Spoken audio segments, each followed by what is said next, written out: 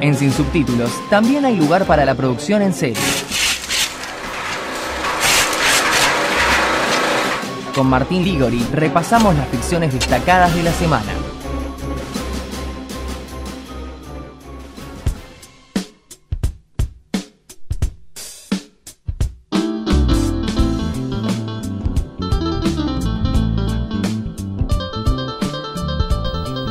Bueno, y estábamos escuchando eh, You Think We Suck, que es un tema de la banda sonora de Accepted, que fue esta película yankee que estoy segura que todos vimos, donde había un chico que no lo aceptaban en la universidad, entonces fundaba su propia universidad. Es, ex- es muy sea, buena. Es una comedia, ¿no? Nada, nosotros, muy... Le rompió el, el- el truco, ¿no? Al un partido y presenten elecciones. Una Claro. Ah, no me aceptan, bueno, propia Exactamente. universidad. No nos acepta en ningún medio y armamos Claro, algo parecido. nuestro programa. Nuestra propia universidad mediática. Bien. Sí. Y el separador mencionó que se produce en serie, y cuando hablamos de series, hablamos del señor con los colgantes eh, estrafalarios. Que estaremos subiendo en breve una en foto. breve una foto de el símbolo de las reliquias de la muerte, ¿esté bien? Exactamente. De Harry Potter. Eh, está Mr. Martin. eh, Harry Potter, como decía Sí, eh, Carlos Saúl. Mancheri, ¿no? Sí, El Porter. sí. Bien. Martín Ligori. eh, bueno, tiene algunas bueno. pastillas. Los empastillas, Venimos, Martín. venimos a empastillarlos, ¿no? A ver, ¿qué tiene ahí? A ver. A Bueno, Mm. a ver, primero. ¿Va a estornudar? No, no. Voy ¿Va a llamar a. Hugo? Sí, Bueno, hágalo. a vomitos. No al micrófono. Sí. O sí, garpa mucho. Bueno, Martín. Bueno, primero, la comedia Two and a Half Men, Dos hombres y medio. Ya sé de lo que vas a hablar. Ya lo Sí, leí. ya lo leí. Lo Por mandé hoy, justo. Sí, bueno. Eh, ya está armando polémica, porque Sar- eh, dice que van a presentar una boda, comillas, gay, comillas. Bien. Como es eso, co- do- me gusta mucho dos veces comillas. Parece importante es- cerrar. Comillas, gay, comillas. No Tenés le que ponen- cerrar las comillas, comillas. cuando uno lee y le ponen comillas, a veces no las cierran, se queda muy No. nervioso diciendo ¿dónde termina? A Claro, veces no, un- ahí. hay una, hay una que regla cerrar que las es comillas. en punto final termina la, termina la, La la comilla. comilla. Pero volvamos, sí. Bueno, Entonces, Chuck Lorre, el productor de esta serie, el guionista principal, sí.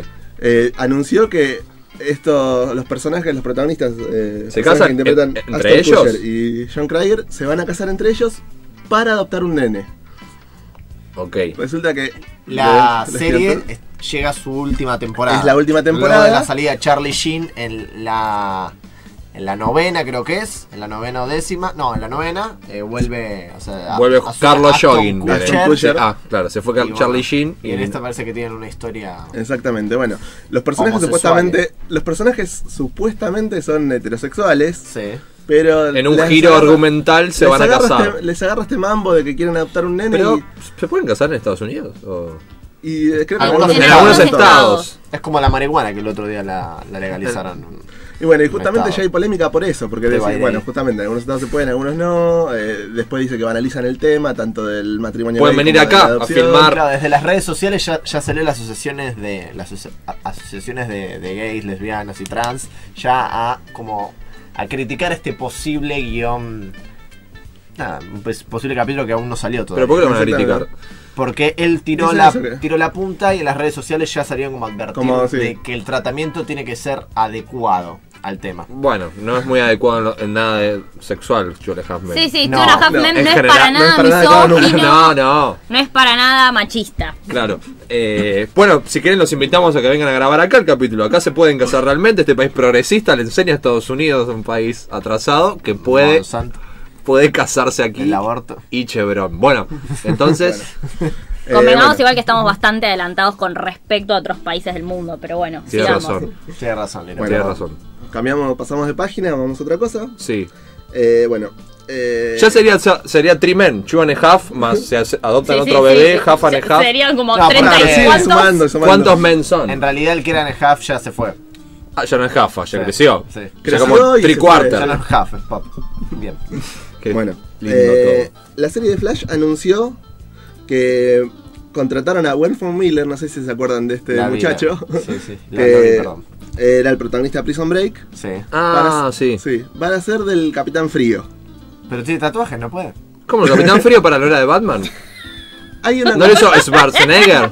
a veces hay una confusión porque en castellano le pusieron Capitán Frío a dos personajes que son completamente diferentes del universo DC. Ah, le puse el mismo nombre. Claro, tienen porque Pero- este se llama Captain Cold en el original. Sí. Que es Y el que era. Schwarzenegger. Que es Capitán Fresco, no es Capitán claro, Frío, claro. Pero le pusieron Capitán Frío. Y el de Schwarzenegger también le pusieron Capitán Frío, creo, en algunas traducciones. Sí, y y, lo- él se llama Mr. Freeze. Es otro personaje. Sería el señor eh, que. Sí. El señor Frisa. Algo así. No, en Bien. este el Capitán Frío es un científico. Sí, que. Batman no es un En- científico. Batman es un científico. Por lo visto en Flash están tirando todo para el lado de los científicos. Sí. Así que. Toda la semana tiene, una puntita Flash. Se ve que van a buscar al Conicet que- algo. Bien, Sí, y más seguro. ahora que están, viste, estamos cerca de la Comic Con, entonces todo el tiempo están tirando noticias nuevas. Es verdad. bien. Y bueno, lo que me dice es eso, que a partir del capítulo 4 de Flash va a aparecer haciendo de este personaje, del Capitán Frío. es como una noticias extrañas que lanzan a partir del capítulo 4. Que seguramente ya lo sabían porque el guion está hecho hace cuánto ya de la serie. Es raro igual. igual Claro, pero ahí Lo importante es poner el cuerpo, ¿no? Cuando sale el pero actor. claro, muchas veces eh, se filman mucho después, incluso Es estas participaciones se filman a último momento generalmente. O en una semana, por ejemplo. Sí, también. Bien, ¿qué más? Eh, bueno, Una última pastillita. una última pastillita. Eh, AMC, que es el canal que produjo Walking Dead en algún Sí. momento, trayendo, digamos, los zombies al mainstream, está buscando una vuelta ahora. Que Dice, produce ¿qué- qué Breaking, Breaking Bad. Breaking Bad. Sí. Que dice, ¿qué podemos traer ahora? Y aparentemente quieren revivir las series de artes marciales.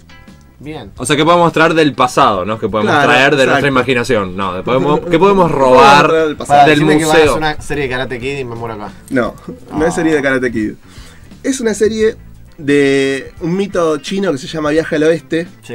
que es el mismo mito que, en el que basaron eh, Dragon Ball, por ejemplo. Bien. Ah, mire.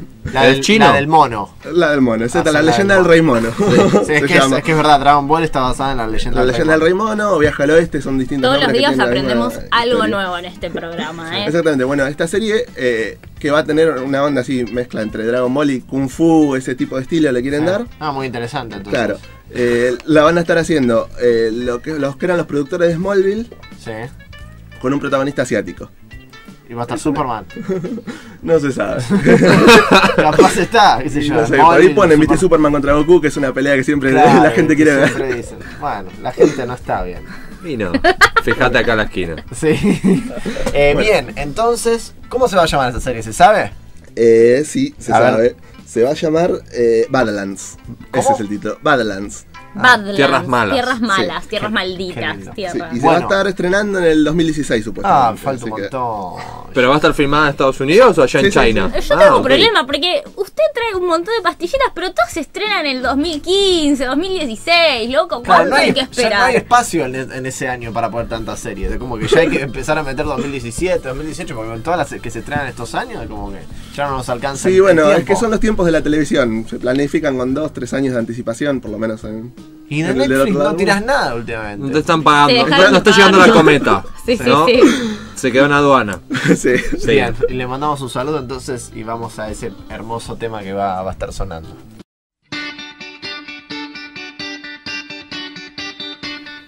Radio LK te conecta con el cine, tu link al séptimo arte.